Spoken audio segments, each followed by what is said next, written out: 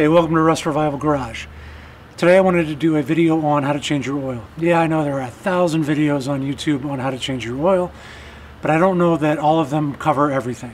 And I kind of wanted to do a seriously in-depth how to change your oil video for someone who wants to do it. Maybe they've even watched a couple of the videos on YouTube and thought, wow, that seems scary. I don't have a jack. I don't have tools. I don't have a lot of these things. I don't know where to get them. I don't know how. So I just kind of wanted to give a series like beginner's guide 101 to changing your oil. How to figure out which oil you need, how to figure out which filter you need, um, what tools you need, that kind of thing. So this is going to be kind of a longish one. So I kind of wanted to jump right into it and show you how you can start learning basic car maintenance. And I'm going to start on my 2007 Acura RDX. Let's get to it.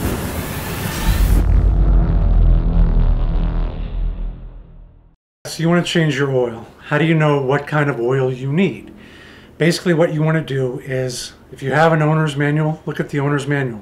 You can actually also look at the, the car itself. A lot of the times it will even tell you on the oil filler cap what kind of oil that the manufacturer recommends. This car even tells you, see the owner's manual, but make sure you're using the SAE 5W30. And that's what we're using here. It even tells you what kind. Use only Mobil 1.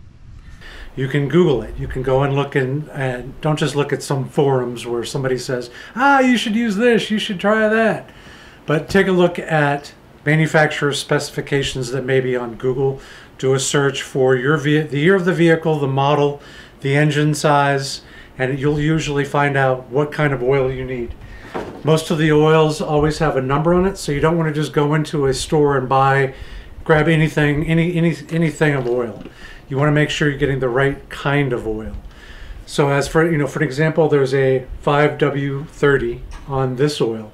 It might be 10W40, it might be 20W50, it might be any number of different options. So you don't want to just grab any one and use that one and hope hope for the best. Then do you need synthetic? Do you need conventional oil? Do you know there's a lot of different choices. But take a look at what that manufacturer um, recommends. What you know, look at the owner's manual. Look at online. Um, even talk to maybe somebody at the auto parts store if you're not sure. They can look it up for you. They can also tell you what size filter you need because you also need to change your oil filter whenever you're changing your oil. The filter also comes in different sizes. There are filters very small like this one. There are big giant filters. There are longer filters. Not, it's not one size fits all. That's why there are 80 of them if you ever go to the store. Again, you can talk to the auto parts person and say, which one do you recommend? Which one does does your little machine there tell me I should have? Which which size? The other thing you do want to do too is watch out. Don't necessarily just get the cheapest oil filter that's available basically there are some good brands out there. There are some that you do kind of want to avoid. Um, for the longest time, I was a Fram filter user, a Fram oil filter user, and I've been watching a lot of YouTube car videos, and they all say, "Yeah, stay away from Fram. Ah, Fram is bad. Fram, oh my God, your car's going to die." So I don't use that anymore, but I like the Napa Golds. I like the K&N filters. I like the uh, Wix filters, which I do have to order. They're not even available uh, here for me. Um, where I went this time to get this kit, I actually had the choice of Fram, Purolator, and Purolator Boss. So I actually spent a little more money. I have no idea if the Purolator Boss is a horrible one, but I certainly didn't want to go with Fram. And so yeah, just just take a look and see what kind of filter you need, what size, you know, what the number is, the parts number for that. You can order it from Amazon. You can go to um, just about any card or, or car auto parts place and get a filter. Uh, you can order them online um, directly from the, the auto parts dealers if nobody's super close. So you have options. You don't necessarily just have to grab the first thing that you see. The other thing that you want to do too is make sure you find out how much oil you need. Some cars may take three quarts, some may take six or seven quarts. Most cars are usually on average about five quarts, but check to make sure because you may get one that only comes in a five quart and you may need to get the five and another extra quart if it's you know six six quart total requirement. Um, the other thing that you want to do is make sure you don't use too much oil. Uh, some some people may think, well, if it says four and a half quarts of oil, I'm going to put in five because more is better, right? It's actually not. Too much oil can cause it to really froth up in there and cause problems. The more oil you have, the more it actually interferes. Sometimes it's even almost better to have a little bit less oil than you need. So don't make you know make sure you get the right amount, but you don't just say it calls for four and a half. I'll just put in five. I'll put it if it calls for five. I'll put in six. If it calls for four, I'll do you know. Make sure you're putting in the exact right amount or as close to it as you can possibly do to make sure you're not overfilling your oil. So how do you know when to change your oil? I'm not going to go into the debate about whether it should be every 3,000, every 5,000, every 10,000 miles.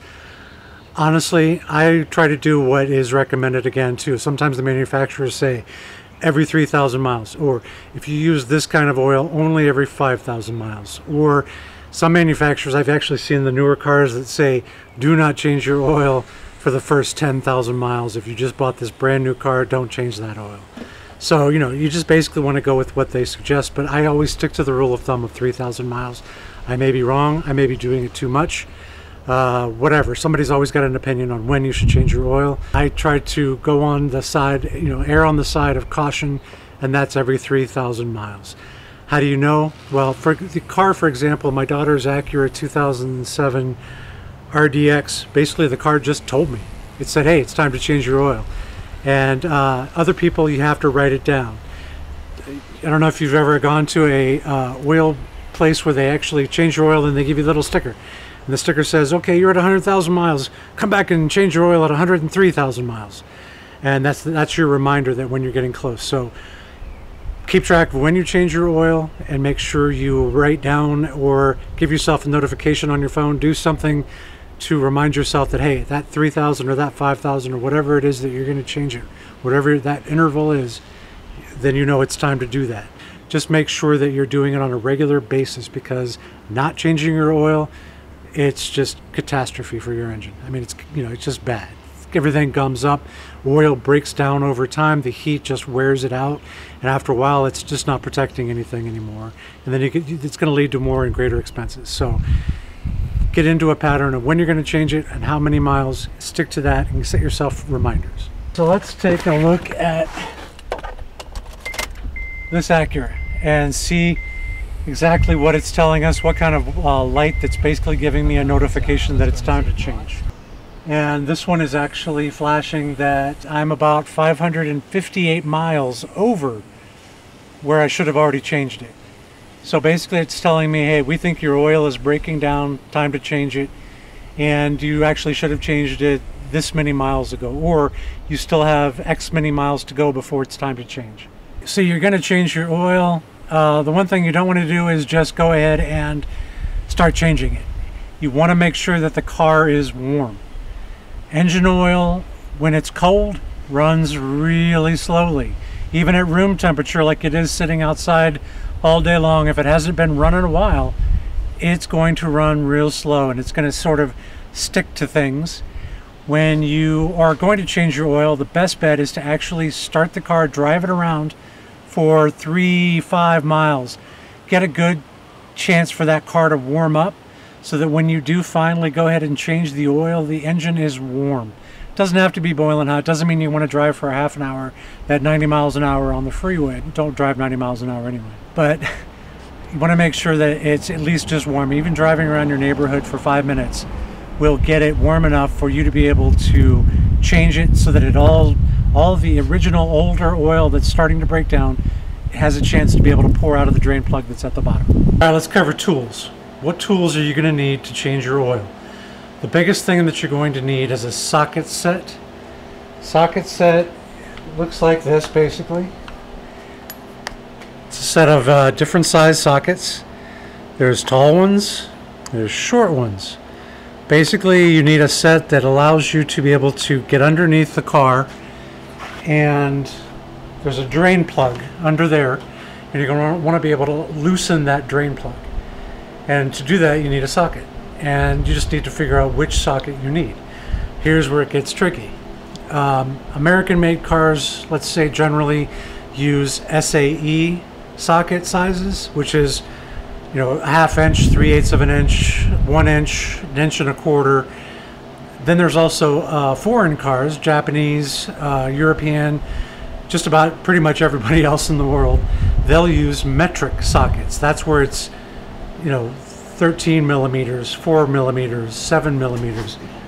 So you may need the set that has that. So, you know, 10, 11, 12, 13, 14 millimeter. And then that way you have something that matches your car.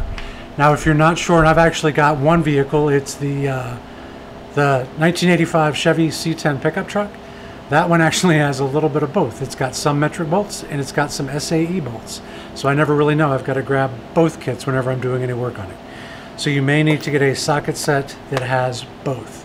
And they do sell them as kits. You can basically get a kit that you open up and it's got the socket wrench itself that looks like this. And then you can just basically put on a new socket and then it allows you to, to tighten things up and loosen them up. And there's a switch on the back. And so it's got a wrench and then it's got all of the different sockets. So you want to get maybe a kit that's got both the metric and the SAE. That way you can work on anything. So if you change cars down the road, you go from an American made car to a foreign car. Then you'll be able to have both sets. So if you're not sure, I'll, I'll include some pictures and, and, links to some that you can pick up. Not incredibly expensive, but the better socket kits that you buy, the longer they can last. Sometimes the super, super cheap socket sets made in China junk, you know, you'll start using it and the socket will split right down the side because it's cheap. Or the wrench itself will break and it, it'll stop basically ratcheting for you. So it does help to, to get some quality tools whenever you can because you're going to basically be using these for as, as long as you're going to be working on your car and doing maintenance. So what else do we need besides a socket set? So every oil filter is up there usually next to the oil pan that we're going to be removing the oil from. The oil filter is usually on the side. You may be able to unscrew it from directly down from the, bo from the bottom. Um, but we'll take a look at a couple of different options. But basically with the oil filters, the hardest part is, is you're not supposed to put them on super, super tight, but heat does basically seal them to the engine. And so, the, you know, it's really hard to get those loose. So you want to make sure that you've got a tool that allows you to remove the oil filter. This is the one that I use. The reason why I like this one is because it basically squeezes down to whatever size that oil filter is. So you put a socket on the back. I use an extension sometimes. And then you put it on there and then when you tighten it down, it gets tight on that oil filter and then you can turn it. And it, so you can see it just grips to whatever size you need. There are some that if you can get that are basically specifically just for one size of oil filter. Same thing works here. You basically can take your extension, put it on the back, use your socket, and twist it off. You don't need the wrenches to put it back on, however. Those are only for just taking off the old oil filter that, that that's up in there in your engine.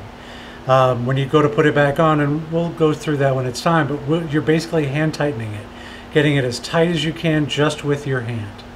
So you don't need to use it to, to put it on, you just use these kinds of things to take, and there's a bunch of them out there. Don't just think that you have to get ones that are like these, but these are what I've got. All right, what else are you gonna need? You're gonna have something to put the old oil in. Basically, you just need to pick up a pan that allows you to catch oil. This one is a 10 quart capacity, which is usually more than enough. There's still a little bit of old oil in here, but you can fill this up and reuse it over and over again. So basically what you're doing is emptying your old oil in here. You can take it to a uh, auto parts store that actually recycles oil, pour it out, take it home again, and the next time you need it, it's all empty and ready to go. So yeah, one of these, good idea to have. Some gloves if you want, just to keep your hands from getting too crazy oily maybe even some paper towels because it can be a little bit of a messy job. In order to get under there, to be able to change the oil, you need to be able to jack it up and support it safely. Now here's where I basically it gets expensive. Um, you need to have a decent quality jack. The jack is basically what, what allows you to jack up the car to have enough room to get underneath it. Um, the other thing that you want to make sure you've got are jack stands. Jack stands are basically, once you jack it up, you can basically take a stand and extend it and you've got it basically supported on its frame or subframe connectors underneath the car. And then that way you're sure that that car won't come down while you're underneath. So the jack stands and the jack are very important. Again, the other thing that most people don't think about is you can get a very, very cheap jack and it may be for, it may say one ton on it, for example. Um, your car weighs more than one ton, I can pretty much guarantee it. It's 2,000 pounds. So, you know, if you get a very cheap jack and a very cheap set of jack stands, you could be, you know, it could not be safe. You know, you could be damaging to your health, basically.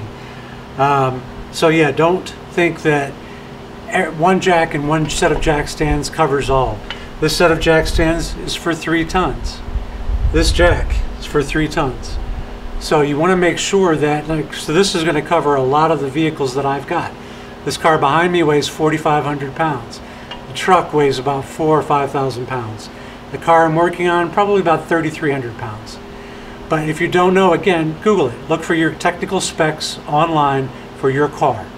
And if it says your car weighs 3,600 pounds, you know that if you have a two ton jack, you should be safe and two ton jack stands you should be able to safe, be safe to jack up the car and support it. And so that, that's where it's very important, just making sure that you don't just grab any set of jack stands or any jack. Make sure it's something that's strong enough to support vehicles, and you know, including your cars or any vehicle that you're, you're thinking about doing this on. So yeah, make sure you're checking how much your vehicle weighs and how much support these kinds of things get do once you do, the, do this initial purchase, you're buying a jack, you're buying a jack stand, you keep these things well taken care of, you're not going to have to buy them again. So it can be an expensive outlay, several hundred dollars, maybe more. But you know, you might even check Facebook Marketplace, Craigslist. Uh, you might be able to find used sets of these uh, for sale around you that can actually help save you some money. I got these used. I got this brand new years ago, but I can probably pick up a nice, decent three-ton jack for a hundred bucks and save save a little bit of money by going maybe through my Facebook Marketplace.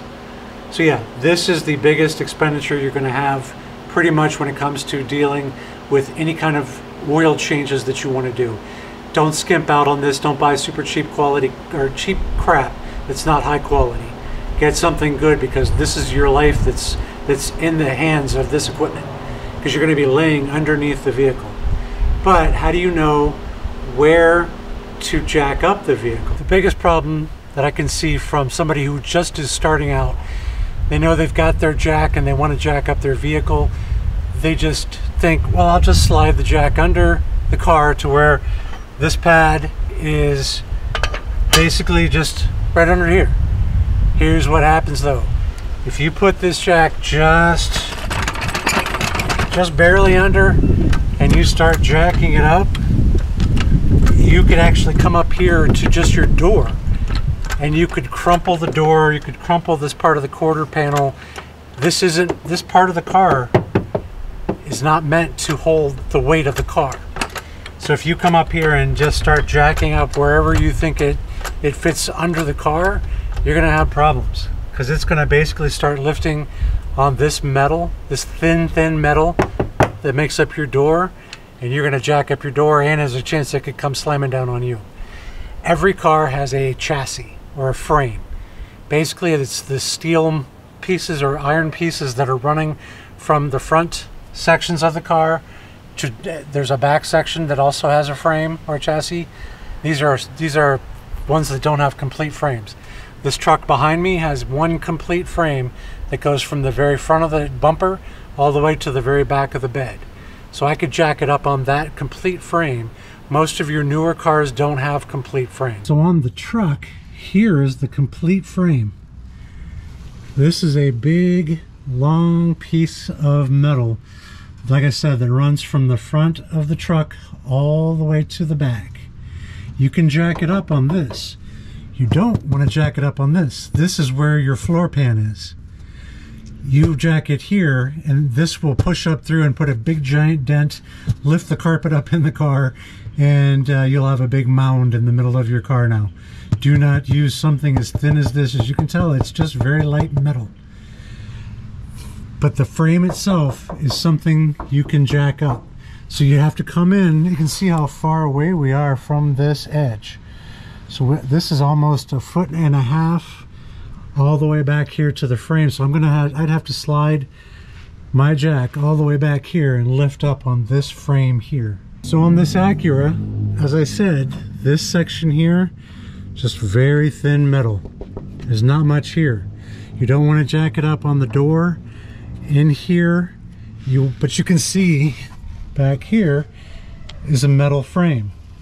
This is very thick metal, very solid this is going to support the weight of the car. So if I slide my jack all the way in here, start lifting it up, I'm going to make sure that little cup on the jack is able to attach right here. That'll lift it up. What I'm actually going to do is because this is where the frame itself starts to move up a little bit, I'm going to actually jack it up back here and then put my jack stand right here. That way it's able to support the weight I'll actually put the jack in and leave it in, but have most of the weight on the jack stand. This way, if I've got the jack stand here and I've got the uh, jack just in case, then I'm good to go. I'm going to feel safer. Now, because we're changing the oil, we don't need to jack up both sides. You're basically just giving yourself enough room, jacking it up, supporting it with the jack stand and the jack, gives you enough room to get down there to change the oil. As it is right now, I'm a large individual and I don't have enough room to slide in here without the jack.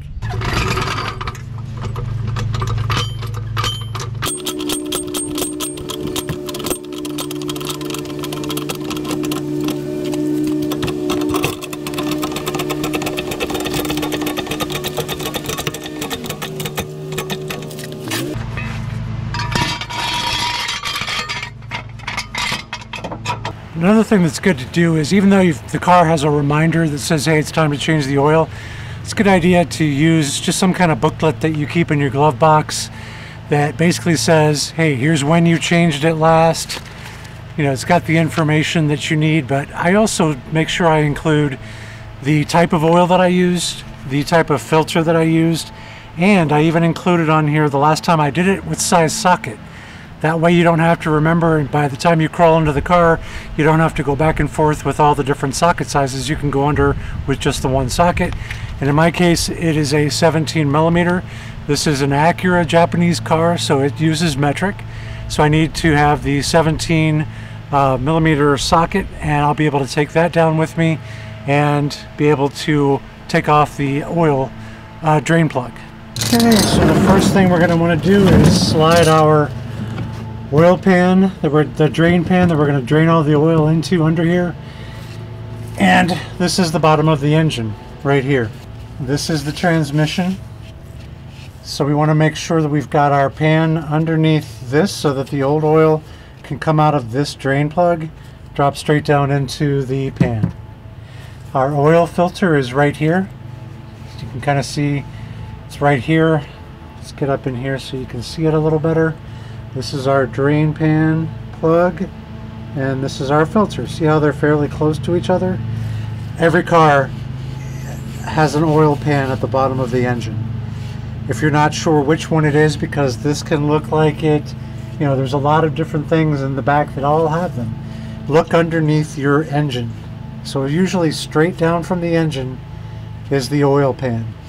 Here's an oil pan on a 1980s pickup truck straight directly below the engine. Here's the oil pan on a motorcycle, straight directly below the engine.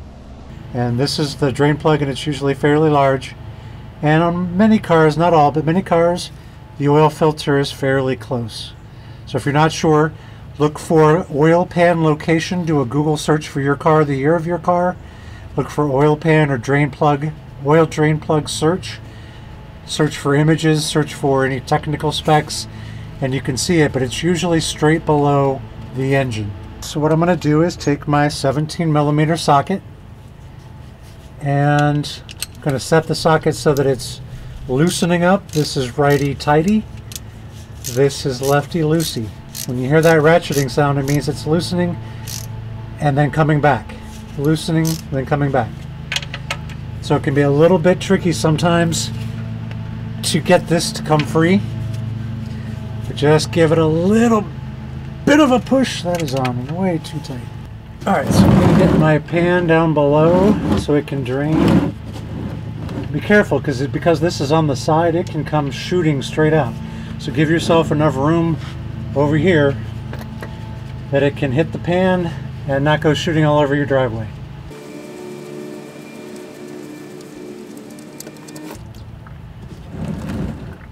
And there we go. This engine, be careful because this oil, because you drove it around a little bit, this oil can be hot. But you can see it's a nice dark black color, which means it's pretty much past its life and it was time for a change. As you can see, it's starting to fall off. You may have to adjust your pan so that it now can catch it because it's just dropping straight down. All right, let's get that oil out of there and then we'll jump over to the uh, oil filter. While that oil is draining out, it's a good idea to go ahead and prep your oil filter. This is the new filter and what we want to do, because it's going to go straight up in there and we're going to tighten it up, we want to put some oil all the way up in here as much as we can. That way the engine doesn't have to circulate to the filter and then out to the rest of the engine first which could mean your engine's going to run a little dry. When this is already pre-filled, some people say you don't have to do this. I say better safe than sorry. So pre-fill that oil filter. And the other thing that you want to do is this has a little rubber ring around the outside. Take a little bit of that oil and rub it on there. That gives it a nice good seal. Once you've got that up and it's tight, that's giving you a good seal. The other thing that you've got to watch out for when you're taking the old filter off make sure that seal came off. If it didn't, if it doesn't come down with the old filter, there's a good chance it stays up there. Then you've got two of the rubber rings touching. It will not seal. You'll have oil leaking everywhere. It's a big mess. Don't ask me how I know.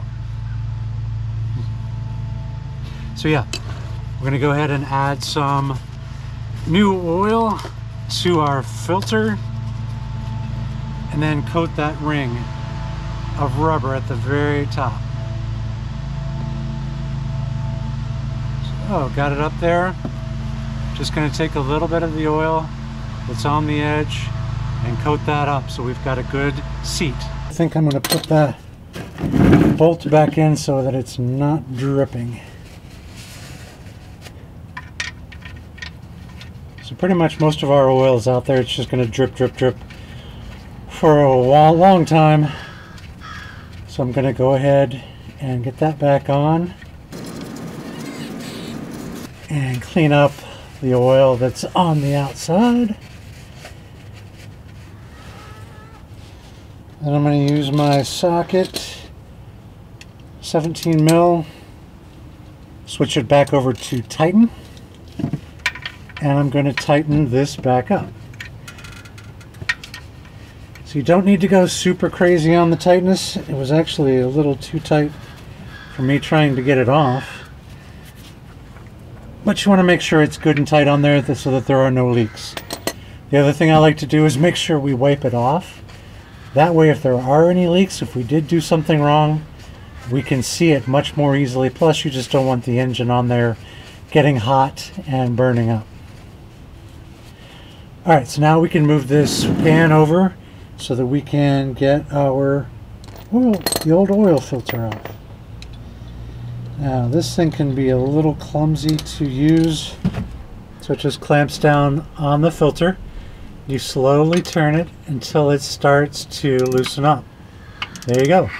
Now I want to get this back underneath because a lot of oil can come out of here too. So I don't want to come all the way out. You see, it's starting to pour out. Be careful, this oil is hot too because you drove it around for a little while but I want to get this out into the pan turn it upside down so that all of that old, oil is going down into my pan just like that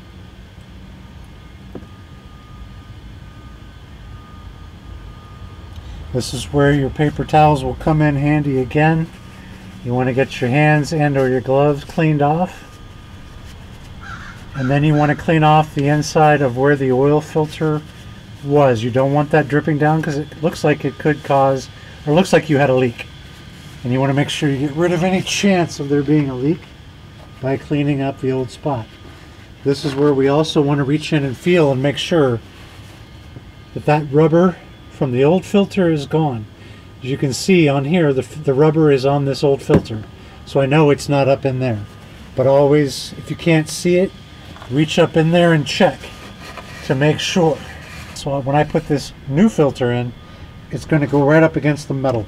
And it's going to be that rubber to metal surface contact, which is what we want. Now be careful because you do have oil in this new filter. So don't spill it and you kind of have to go a little blind you just want to put it up in there and you want to start turning it until you feel it get picked up and the threads start to connect and there you go you just feel it catch after a while it starts to go on and then if you let go it won't drop out so what I want to do is just hand tight I my fingers are a little slippery from the oil but I don't want to let it just sort of hang there I do want to get a good solid contact. So right now it's hand tight. We should have no leaks and we'll check it afterwards to make sure. But I can't turn that by hand anymore. So we are good and seated. Basically we're done down here. What we want to do is take out our oil pan and the old filter, slide it out. Then we're going to want to go over and remove our jack stand. So we're going to have to jack it back up a little bit. Remove the jack stand and then let the jack lower it back down to the ground. And we are done under here. Just make sure have you tightened up your oil plug? Have you hand tightened your oil filter? You, we are good to go.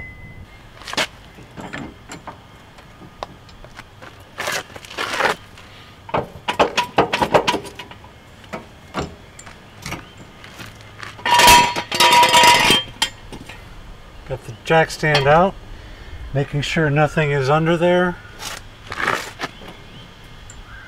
We are clear.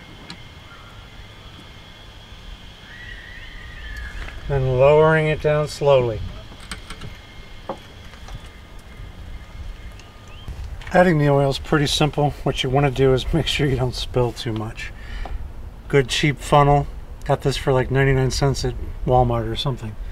But you want to just take off your oil filler cap. So you take that cap off, set it aside, make sure you don't lose it. Put your funnel down in here because it's probably going to be too hard to just try to pour this directly in here. Now this car takes five gallons, or five quarts. This is a five quart container, but I've already put some of it into the oil filter, so it's a little bit less than that now. So I'm just going to pour the entire remainder of this into the funnel, fill it up, and we're good to go. Then all we have to do is make sure and check to see that we have oil pressure, and then we're good to go. So I'll go ahead and add this in and that should be it for our oil change.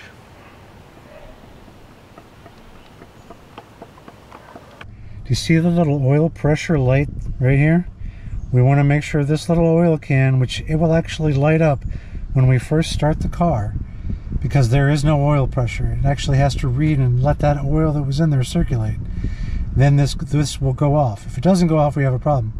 Then we also want to make sure we go out and look and check for leaks. Is anything leaking from the oil plug? Is anything leaking from the filter? If there is, we can go back in and take a look and see what see what problems uh, were caused, uh, what we left behind. So let's go ahead and check just this to make sure that our oil pressure is coming off. See, the lights stayed on for a little bit, then it went off. So we have oil pressure. Getting a good reading. We're still hearing Good, good engine sounds. The engine's happy now. It's got a nice clean oil. Now, because this car actually requires that I change the setting, I have to basically let, let the car know, hey, I just changed the oil. Let's reset this.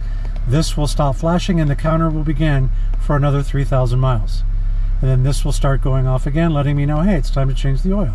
But I do have to change this manually. And there we've got our engine oil life back to 100%.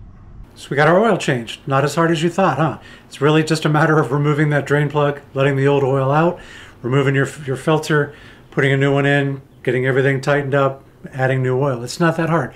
Where most people, I think, get sort of a little freaked out, a little scared, is jacking that car up. It's, you know, making sure that it's level, making sure that it's safe. One of the things I didn't cover in this video actually was where do you do your oil change? Ideally, if you've got a garage, do it in the garage. Usually garages are fairly flat, fairly level. I did mine in the driveway, but it's it's got a slight slight tilt to it, so it's not bad. You do not want to do an oil change on a really really steep driveway that may be you know down into the ground or really high up on a hill. If you've got a driveway like that, find someplace else. Maybe do it out on the street. Uh, the curb can even be a little bit difficult because the roads are usually set up to let water roll away. And if you're over by that curb, you may be at a little bit too much of an angle. So find a good flat, safe spot. Make sure that you've you've got the car in park. Make sure your emergency brake is on. If you're if you've got a manual car, make sure it's in gear and that that e-brake is on. And if you want, chalk those wheels. Gives you a little bit of extra satisfaction to, to know that the, the car can't roll. So put a piece of wood, put something back behind um, those wheels so that you know you're, you're making sure that as you jack that car up, it doesn't roll and go anywhere. So yeah, the, the changing of the oil is not hard. So it's something that you can do yourself. Where it gets scary for some, again, is buying the tools, knowing how to use the tools, you know, it, it, jacking up the car.